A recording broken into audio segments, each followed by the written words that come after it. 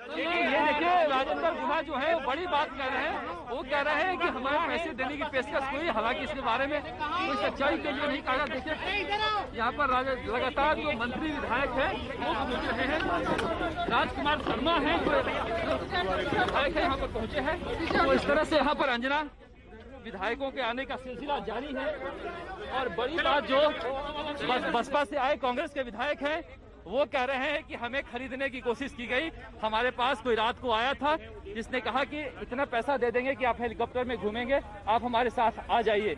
हालाँकि इसकी पुष्टि हम नहीं करते हैं कि कितना सच है लेकिन देखा जा सकता है कि हालात किस कदर हो गए हैं कि आरोप प्रत्यारोप का दौर जारी हो गया निश्चित रूप से कहा जा सकता है एक घबराहट का नतीजा है जिस तरह से अंदर से एक विधायक आकर बताता है कि हमें खरीदने की कोशिश की गई। नंबर के लेकर कुछ गड़बड़ चल रहा है अंदर। कि जिस तरह से 90 के आसपास हमें लगता है कि अंदर विधायक पहुँचे हैं और जो 30 की संख्या सचिन पायलट बता रहे हैं तभी बैठक का टाइम भी लगता है तो आगे बढ़ा दिया है शरद। हाँ। अशोक हाँ। जी। शरद लगता है बैठक का टाइम भी बैठा दिया है। बिल्कुल। उन्होंने कहा जैसा कि सुना कि अंदर नाश्ते का काम चल रहा है। हम्म, ठीक है मैं लौट रही हूँ। जैसे ही कोई आता है आप हाथ इशारा कीजिएगा मैं फ़ौरन आपके पास आऊँगी। के के शर्मा हमारे साथ प्रवक्ता भारतीय जनता पार्टी के जुड़ गए हैं और अर्चना शर्मा हमारे साथ प्रवक्ता कांग्रेस पार्टी की जुड़ गई है। क्या लग रहा है के के शर्मा जी? जो मोहरे आपने बिछाए हैं, अशोक सिंगल भी बने हुए हैं सचिन पायलट के आवाज़ से, कुछ भी हलचल होती है अशोक, बताइएगा। के के शर्मा जी, जो ये आप लोगों ने मोहरे बिछाए, ये जो बिसात आप खड़ी कर रहे हैं आज सुबह इनकम टैक्स रेड ईडी के छापे, आपको लग रहा है कि मामला आपके कंट्रोल में है? मतलब लड़ाई उनकी, सरकार उनकी, हर जगह आप ही को अपनी जिद रहती है कि किसी न किसी दाव पेच में सरकार बनानी है। अंजना जी आप ही कह रही हैं कि अभी जो है ये लड़ाई इनकी है। इसमें हमारा क्या लेना देना? ये इनके घर का अंतर कल है आपस में एक दूसरे पर आरोप लगा रहे हैं। कोई अपने पे अपने ही पार्टी के नेता को बाहर कर दे रहा है कोई उसको अंदर ले ले रहा है कोई कह रहा है उनके साथ ये है कोई कह रहा है ये। तो ये तो इनकी आपस की लड़ाई है इसमें हमारा क्या लेना देना? हम तो एक वहाँ विपक्ष है। सशक्त विपक्ष आज सुबह के इन रेड्स का समझा दीजिए। शर्मा जी। आज सुबह के इन रेड्स का समझा दीजिए, जिसमें वैभव गहलोत जो अशोक गहलोत के बेटे हैं, उनके बिज़नेस पार्टनर पर ईडी का शिकंजा, इधर इनकम टैक्स का रेड वो भी लोकल पुलिस को बताए बिना सीआरपीएफ के साथ अशोक गहलोत की करीबियों पर। ये सुबह सुबह रेड समझा दीजिए, सर। नहीं रेड क्या रेड तो जो एजेंसियाँ हैं, वो अपना काम बंद कर दें क्या? वो काम ना करें, यदि उनके पास कोई इनपुट होगा तो अपना कार्रवाई करेंगे। इसमें से क्या लेना देना है इसके इस घटनाक्रम से? यदि उनके पास कोई इनपुट है किसी के पास कोई इनपुट है किसी एजेंसी के पास साहब तो, तो बोल गए कि सचिन पायलट बीजेपी में जा चुके हैं। नहीं नहीं वो तो ये सर्टिफिकेट दे पुनिया जी भाई डिसाइड कर ले वहाँ पर।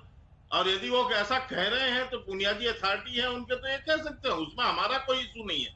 वो किस पार्टी में जाए है किस पार्टी में नहीं है सचिन पायलट ये कांग्रेस को डिसाइड करना है। ये हमें डिसाइड नहीं करना है अंजना जी। अर्चना शर्मा जी नहीं है। अर्चना शर्मा जी आप तो राजस्थान के कांग्रेस की नेता हैं। कितने विधायक पहुँचे हैं? क्या अभी भी मामला अटका हुआ है तभी बैठक का वक्त बढ़ाए जा रहे हैं आप लोग? या फिर रेड मैनेजमेंट में लग गए? देखिए अंजना जी कोई भी मामला पहले भी अटका हुआ नहीं था ना अभी अटका हुआ है। लेकिन ये बात सही है कि के के शर्मा जी की जो पार्टी है, वो मुहूर्त निकालती कब ये जो एजेंसीज है, इनका दुरुपयोग करना है।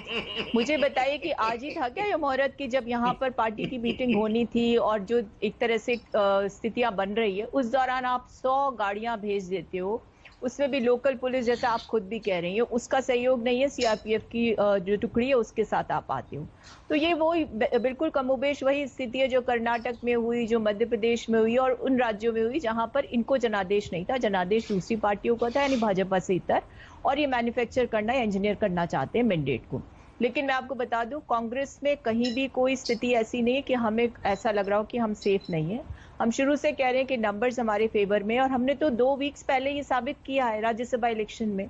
और एक चीज़ और बताऊँ मैं अंजना जी कि इनके मंसूबों पर जब पानी फिर जाता है तो फिर ये वैसे बयान देते हैं अपने घर को संभालिए अपने घर में देखिए। मुझे बताइए कि पूर्व मुख्यमंत्री श्रीमती वसुंधरा राजे ने क्यों इनसे प्रश्न किया था राज्यसभा इलेक्शन में, इनके संगठन से राजस्थान में, कि जब आपके पास नंबर्स नहीं थे तो आपने दूसरा कैंडिडेट क्यों खड़ा किया? इसका सीधा तात्पर्य ये है कि ये पोचिंग करते हैं हॉर्स ट्रेडिंग करते हैं, इनके दो लोगों को यहाँ की जो एजेंसीज है, उन्होंने डिटेन किया है, उनके फ़ोन में उनकी जो वार्ता हुई उससे साफ़ साबित हो रहा था कि ये लेन देन करना चाहते हैं। हमारे एक विधायक ने खुद आपके कैमरा पर बोला है कि कल उनको ऑफ़र किया गया रात में। हम्म, अब इससे बड़ी विडंबना क्या हो सकती है कि लोकतांत्रिक मूल्यों की हत्या ये करना चाहते हैं चुनी हुई सरकार को गिराना चाहते हैं विधायकों को सचिन पायलट अगर नाराज़ है तो इसमें बीजेपी ने क्या किया?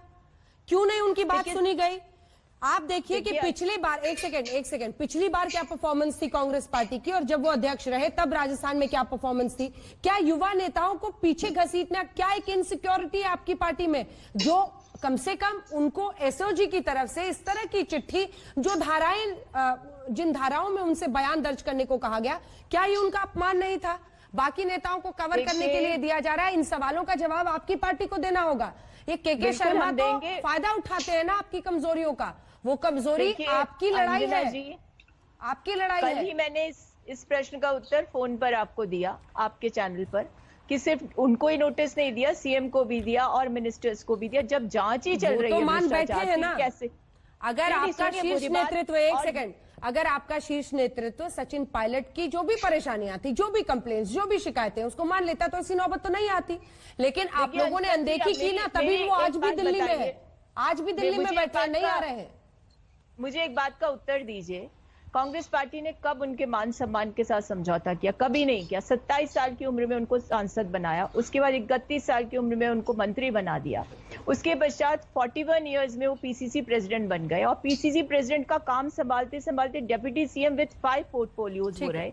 मैं भी तो युवा नेता हूँ। मैंने ये सब तो आप लोगों को सचिन पायलट को तो- समझाना है ना? मुझे समझा के क्या कीजिएगा? ये तो उनको समझाना पूछ रही हैं, उसका मैं उत्तर दे रही हूँ। शरद। कांग्रेस पार्टी पर वो परफॉर्म तो करते गए ना। पर उन्होंने परफॉर्म भी तो किया। परफॉर्मेंस को तो आपको स्वीकारना पड़ेगा। यही कार्ड तो ज्योतिरादित्य सिंधिया खेल रहे हैं कि काबिलियत की पहचान नहीं है। के के शर्मा जी आप रुक मुझे जाइए अभी। बोलने दीजिए ना परफॉर्मेंस किया तो परफॉर्म मैं भी मीडिया की इंचार्ज थी मैंने भी उनके साथ कंधे से कंधा मिला के काम किया पूरे ऑर्गेनाइजेशन ने किया सब लोगों ने किया सबके एफर्ट से। हम कब कह रहे हैं कि उनकी लीडरशिप में हमें कोई कमज़ोरी नज़र आई? उन्होंने अच्छा काम किया। पार्टी ने उनको पीसीसी प्रेसिडेंट बनाया डेप्यूटी सीएम बनाया। और मैं तो कह रही हूँ वो बहुत सेंसिबल व्यक्ति है। अभी भी अवसर है कि वो पूरी रिस्पॉन्सिबिलिटी के साथ सामने आए। शरद। और ये ठीक है लौट रही हूँ आपके पास। कितने विधायक पहुँचे? ग्यारह बीस हो गए हैं। नमस्कार मैं हूँ अंजना ओम कश्यप हमें उम्मीद है ये वीडियो आपको पसंद आया होगा। लेटेस्ट खबरों के लिए यूँ ही देखते रहिए आज तक। और इस वीडियो के पसंद आने पर लाइक शेयर एंड सब्सक्राइब करना ना भूलें।